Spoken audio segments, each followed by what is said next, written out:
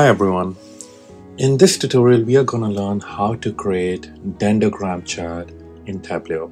It's also known as tree chart and this chart is quite commonly used to provide hierarchical view of data and make it easy to spot patterns. There are many different ways to visualize hierarchical data, but in this tutorial we will learn how to create dendrogram chart in Tableau. So for this, we'll be using sample superstore dataset, which is available in Tableau, and we'll be using data densification technique for creating this chart using sigmoid curve. So data densification is normally used to artificially densify the data to create such curves. So let's get started. As you can see in this particular dashboard, we are showing total number of sales which is broken down into these different categories and each bar represent the quantity of the sales. So for example, we can see on the topmost part of the chart, we have phones which have a sales of $330,000. And as you go further down, you can see the breakdown of all those categories and their sales. So without any further delays, let's start with a blank workbook. So for this, first of all, we will connect to the dataset and we will connect the sample superstore dataset.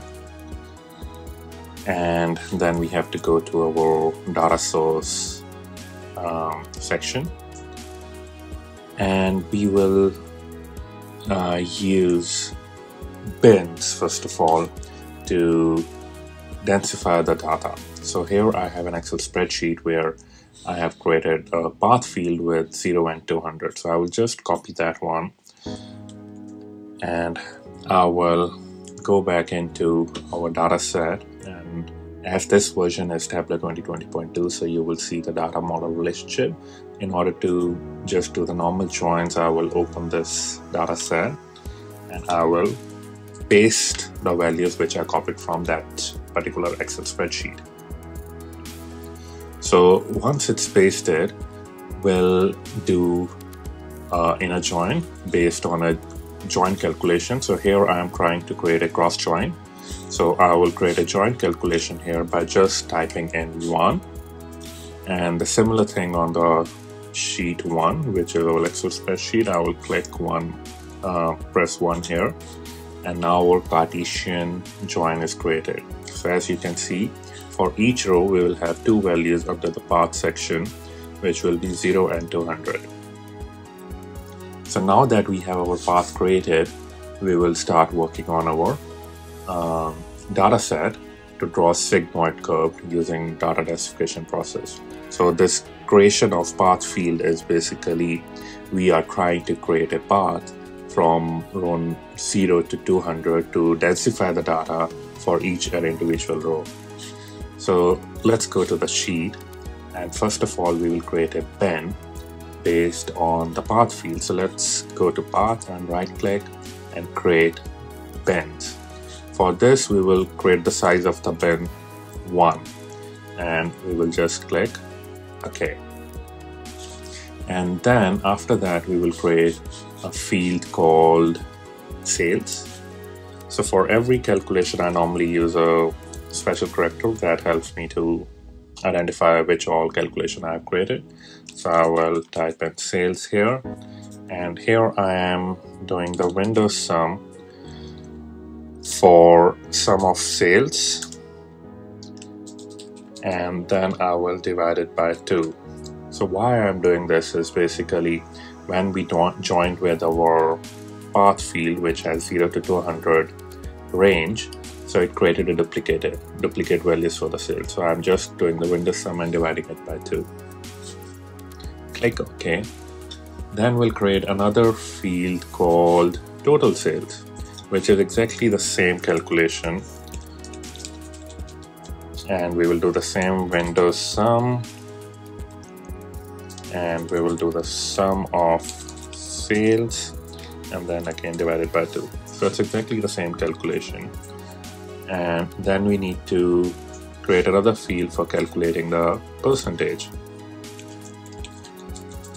So in this percentage field, we will just divide the total uh, divide the sales uh, by total sales and we will click OK and then the next field we need to calculate is percentage adjusted. And for this we will do the calculation just by doing the uh, percentage calculation which we did divided by Windows max value of the percentage we calculated before. And just click OK on that then we have to create a rank calculation. This field will be used to create a unique ranking based on the sales value. So we will just say rank unique function and we will do it for sales and we want it in the descending order so the ranking is based on the sales value but we want it in the descending order. So we will just press ok. And then we need to create the coordinates. So let's start with x-axis. And we will for that actually we have to create an index uh, calculation but we can just do it here. So I will do index function and minus 1 so this calculation is basically using the data densification technique where these numbers are just to create the spacing equally between all the points which we are artificially generating. So this calculation you can look at different tutorials online uh, or just uh, check different ways by putting the values in this calculation to get the equal spacing between each points on the data densification uh, for this line. So look at another tutorial on data densification for more details if you want more information on that. So once this x-axis is created, we are gonna create now uh, y-axis, but for that we need to uh, create the sigmoid curve calculation. So for this, we will be using the formula for sigmoid curve, which is 1 divided by 1 plus exponential value for minus of the right x coordinate which we have created. Uh, and it looks like I am missing one calculation here one bracket here so we don't need this one actually. Yeah so sigmoid curve is created now. We click ok on that. And now we need to create a y-axis coordinates so we will just do this. And for this we need sigmoid curve and we are multiplying that by the rank. And we need to have a bracket here. And we want uh, window sum in this case Windows oh, Windows Max sorry. So we need the maximum value from the window for the TC for the for the rank uh, value. So we will put the rank value here and then we need to add one. Again this calculation is basically just after you try different uh, algorithms like we do the calculation in algebra. So that's exactly the same thing. We have x-axis we have the value of the sigmoid curve. So now from that we are just doing the formula to calculate y-axis. And we will just divide it by 2 and then divide it by 100 okay so we got the y-axis as well.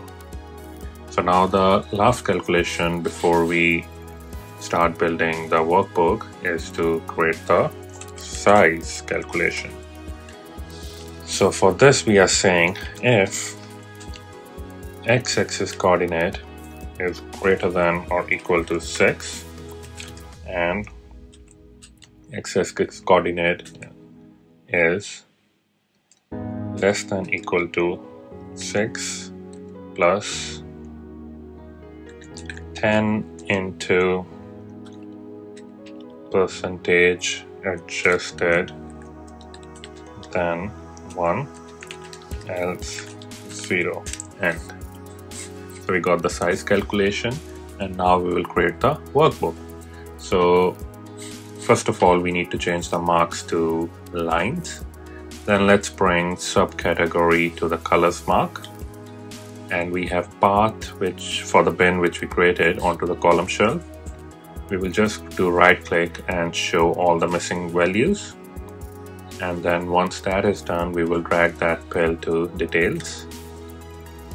And now let's drag x-axis to columns y-axis to rows shelf and just change the compute using by uh, by bins but we can't see it here. So we need to bring the bins. Actually, we were looking at the profit bin, so this is the wrong thing which we did. So we will remove that. We want to create the path bin which we created, so which is this one. So this is the one which we were saying. So we were saying change show missing value, which we can already see. Now bring that value to the detail shelf. And now we change x-axis and y-axis compute using bin. And you can see this curve is created. Once this curve is created, now we go to the y-axis pill and edit the table calculation. And in the nested calculation for y-axis, uh, for y coordinate, we will just go to specific dimension and we'll select subcategory instead of path. And then in the same nested calculation, we go to the rank calculation and do the same thing. Instead of path, we select the subcategory and here you go. You can see that tree chart or dendrogram chart appears like this. And now there are multiple ways where we can modify this chart to show the way we need it to be looked at. So one way is just to bring the sales if we are showing any measure value. In this case, we are showing sales. So I will bring the sales and sales into size shelf. And we can see, we can change the thickness of um, the size of the bars like this. And if we change compute using by path which is already there, we can see it like that. Um, and we also have the the sales number, actual sales number, we can do it like this way as well, where you can see the circles appearing and you can increase the size and see it that way. So there are multiple ways. The another way which we can use is we have created the size calculation. So we can bring in the size shelf and we will just adjust that in here. And for this, we will be uh, clicking on the size, right clicking on the size pill in the size mark section and go to um, compute using path and you can see all the bars appearing in here. So we can do it in the form of circles or in the form of bars. So again, there are lots of different ways to do it. So uh, let's try it with the bars. But if you can see here, these are all of the same length. So you want to edit the calculation and we want to show the bars based on the number of sales. So when we click on um, the size calculation, um, we will go to total sales calculation and in the specific dimension, we will select both subcategory and path, and we will drag subcategory at the top. And the same way we will do it for the percentage adjusted, we will bring both the categories and you can see we have it. The bars are showing the size of the length of the bars is as per the number of sales for that category. And if we wanted to show it in the descending order, we can just edit the axis and do it in a reversed order, and we can see it in a descending order. Um, now, after doing a bit of formatting, we don't need the grid lines, so we can hide those ones. We don't need zero lines. We can hide those ones, and we can just hide the headers. And here you go, you can see the dendrogram chart or the tree chart like this. Um, we can also create another sheet where we can show the total number of sales and I just want to show it as the number. I will hide the title and I will increase the size, let's say to 28. So we got the total sales. And another one I will create by subcategory. Row shelf, bring the subcategories to the row shelf and bring the sales here. And we'll do it in the descending order, which you can see it this way. Now we can create the dashboard. So we bring the sheet one. Excuse me and we can keep it as a floating container so we do it floating we can adjust the way we want it.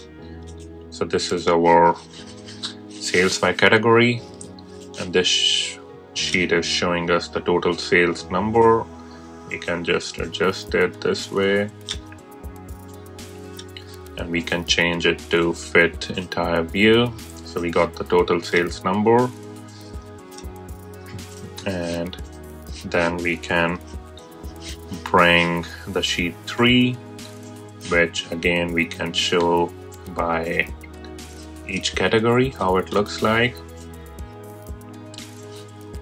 And again we do the full width and after doing bit of adjustments so it will look something like this. I hope you guys enjoyed this session. For more such tutorials, please don't forget to subscribe our channel and we'll catch you next time. Thank you.